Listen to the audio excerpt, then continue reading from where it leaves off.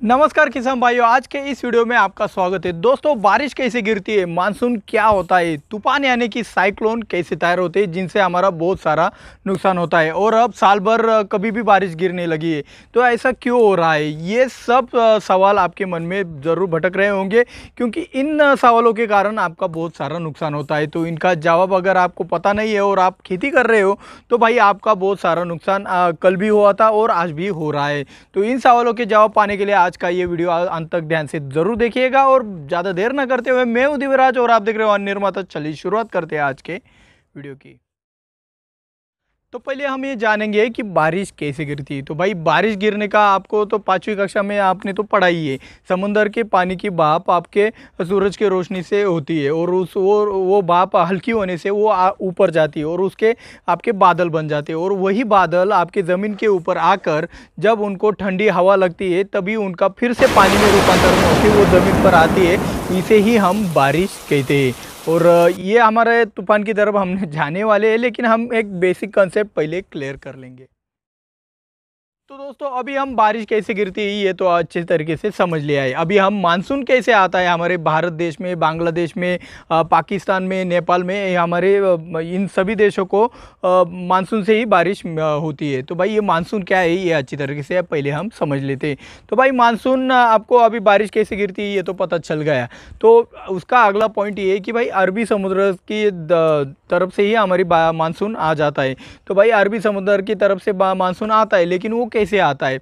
तो इसको ज़्यादा क्रिटिकल ना समझाते हुए आपको एक सादी और सिंपल भाषा में बताने को जाऊँ तो मानसून यानी कि आपकी हवाएँ होती है। हवाएँ मतलब विंड होते हैं। तो भाई विंड कैसे होते हैं? आप कहोगे विंड कैसे होता है? तो देखो भाई आपके हवाई आपके बा, बादल होते हैं पानी के जो बादल होते हैं वो एक जगह से दूसरी जगह लाते हैं। तो आपके समुंदर से ज़मीन के ऊपर बादल कैसे आते हैं? तो देखो भाई जब सूरज की रोशनी ज़मीन पर और आपके समुंदर के पानी के ऊपर गिरती है तो समुंदर का पानी जितना गर्म नहीं होता, उतना ज़्यादा गर्म आपकी ज़मीन होती है।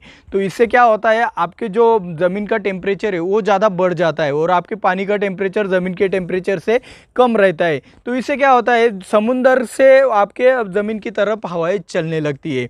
तो समुंदर से आपके ज़मीन की तरफ़ अगर हवाएँ चलने लगी तो वो हवाओं के साथ साथ आपके बादल भी ज़मीन पर आ जाते। हैं इसे ही हम मानसून कहते हैं। मैंने बहुत सारा एफर्ट लगा दिया आपको समझाने के लिए कि भाई आपको किस तरीके से अच्छे से समझ आए।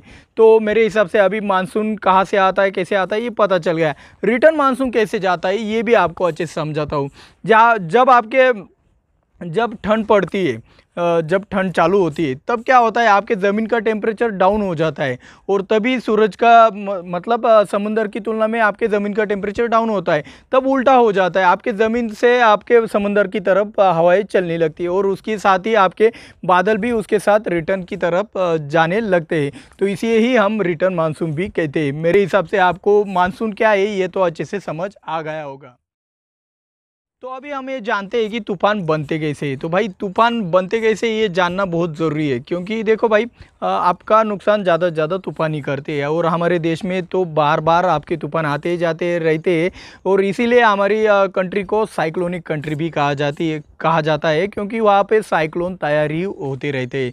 तो साइक्लोन कैसे तैयार होता है? साइक्लोन को ही हिंदी में तूफ़ान कहा जाता है। तो तूफ़ान तैयार होने की प्रक्रिया बहुत सरल है।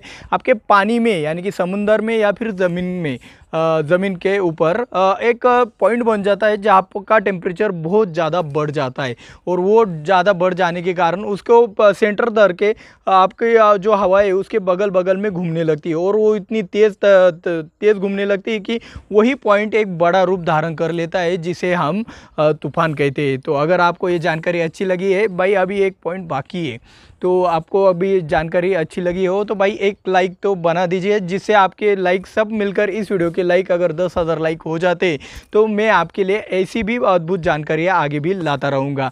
तो जल्द से जल्द दस हज़ार लाइक का टारगेट कंप्लीट कीजिएगा और जिन्होंने सब्सक्राइब नहीं किया है, जल्द से जल्द सब्सक्राइब ज़रूर कीजिएगा। तो दोस्तों, साल भर बारिश क्यों होती है? मेरे मुताबिक जो बुज़ुर्ग का कहना है कि भाई 1990 तक आपका बारिश का मौसम बहुत ही अच्छा रहता था। बारिश के सीज़न में बारिश आती थी, ठंड के सीज़न में ठंड पड़ती थी और गर्मियों के सीज़न में गर्मी लगती थी।